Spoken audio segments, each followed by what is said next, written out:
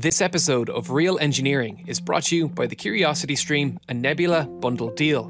Sign up now to watch the hour long version of this video linked in the description. Jet engines are a marvel of engineering.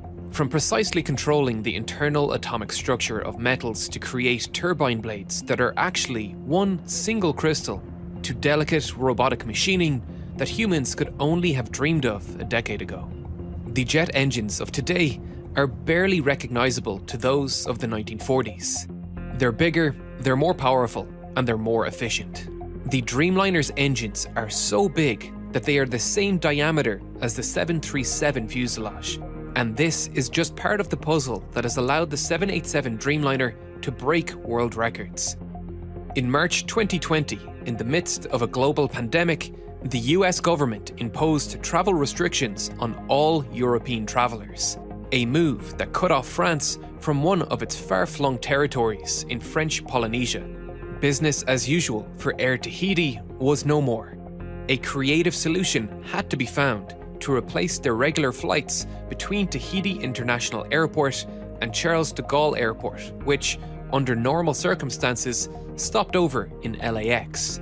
Faced with disruption, Air Tahiti began operating the world's longest flight, a 16 and a half hour, 15,700 kilometre non stop flight between Tahiti and Paris, the world's longest distance scheduled flight, and it was technically a domestic flight. The 787 made that possible, and today we are going to learn how.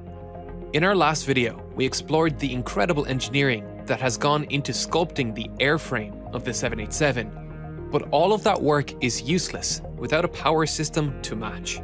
Boeing transformed the way airliners are powered to create a plane like no other. The first step in powering a large plane is to get the jet engine started and that itself is a very power hungry process. We need to get the compressor section turning in order to achieve adequate compression for engine ignition. We have all seen footage of people hand cranking old piston powered planes to get them started. This obviously is not feasible for jet engines, which need to rotate at very high speeds to start. Engineers have dreamed up many ways to complete this job. Some engines use explosive cartridges that look like shotgun shells that will be fired by an electric charge. The hot gas is expelled by the cartridge, then drive a smaller turbine, which is connected to the drive shaft through a reduction gear, allowing the smaller turbine to get the engines up to speed. Cartridge starters were popular in older military planes that may need to get into the air on very short notice with limited ground support. Some planes, like the SR 71, had a direct drive starting cart, which connected two massive V8 engines directly to the J58 engine from underneath the nacelle to get the powerful jet engines up to 4,500 RPM. However, air starting is by far the most common method, where pressurized air is fed into the turbine section directly to get the engine moving. This can be done with an external cart called a huffer cart, which connects hoses to the engine. But most commercial airliners are capable of generating their own pressurized air with an APU, or Auxiliary Power Unit. These are smaller turbine engines located at the tail of the aircraft that are small enough to get started with a battery and an electric motor. Most people aren't even aware this mini turbine engine exists, but you can see the exhaust here on all modern commercial airliners. The 787's APU, like other planes, is started by a small battery, but from here, the 787 system architecture is very different. The 787's APU, like other planes, is started by a small battery, but from here, the 787 system architecture is very different. The 787's APU does not provide pressurized air to the engines. It provides electric current to two electric motors attached to each engine, which act like the starter motors on your car. However, these motors can act as generators to provide the 787 with unparalleled electric power. A traditional plane has one generator on each engine and one on the APU, but the 787 is anything but traditional. There are, in total, six generators on board, with two pairs on each engine, providing the main power, each capable of generating 250 kilowatts, with two more on the APU providing secondary power, each capable of providing 225 kilowatts. If all six of these generators were running at the same time, that would be 1.45 megawatts of power available to the 787, four times more than a 777 is capable of producing. To put that into perspective, this is a 787 on a football field. If we needed to generate that electricity with solar panels in the middle of the day, we would need to cover about 10 football fields with solar panels. This is a lot of power, so why did the 787 need that much power and where is it all going? The 787 uses a no bleed air architecture. Traditionally, many aircraft systems are powered by hot compressed air drawn from the compressor section of the jet engine. The APU normally provides hot air to the engines to get them started, and then, once the main engines are started, hot compressed air bled from the compressor section drives several important systems. Normally, air conditioning and cabin pressurization is handled by the bleed air system.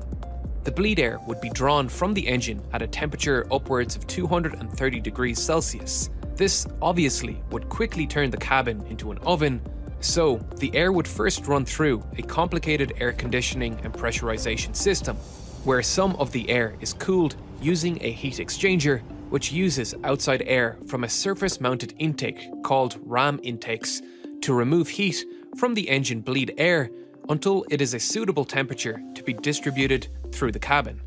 So, we are doing work to remove energy from this valuable bleed air from the engine. This is obviously rather inefficient, and all that ducting is heavy. And this is why the 787 does not use this system. Its cabin pressurization is handled entirely electrically. We now have two inlets the ram air inlet and the cabin air compressor inlet. The cabin air compressor leads to, you guessed it, the cabin air compressor, an electrically driven device that compresses the air for the passenger cabin. This compression process heats the air up too much for direct use into the cabin, so it does require some cooling using a heat exchanger cooled by the ram air inlet. You can see this little door open while the plane is on the ground, and it serves to protect the inlet from foreign objects entering it. Another energy intensive process that has been handed over to the electric motors is the braking system. As you can imagine, the energy required to slow down a 200 ton plane travelling at 270 km per hour is not small. Calculating the energy required is pretty trivial, we just need to calculate the kinetic energy of the object, which we can do with this equation, and that gives us a kinetic energy of 562 million joules. That's a lot of energy, and the vast majority of that energy needs to be dissipated by the brakes of the plane. Reverse thrusters can deploy that redirect air from the bypass ducts through slots that open on the side of the engine. So, the brakes need to convert a lot of kinetic energy into another form of energy, heat energy. You can really see this in effect during a plane's most extreme brake test, an aborted landing test. Here, the plane is flying at full load, including the weight of the fuel, and has to abort at its V1 speed, the absolute maximum speed a plane can abort a landing at. Beyond that point, the plane has to take off. When the plane comes to a full stop, the brakes are glowing red hot. Typically, the braking mechanisms of planes is driven by hydraulics, with a hydraulic piston forcing the brake pads against the wheel to slow down the plane. The 787 removed this bulky hydraulic system and traded it in for brakes actuated by electric motors. Each of the eight landing gear wheels feature one of these units, and together they helped eliminate between 62 to 111 kilograms of weight from the 787, while also being drastically easier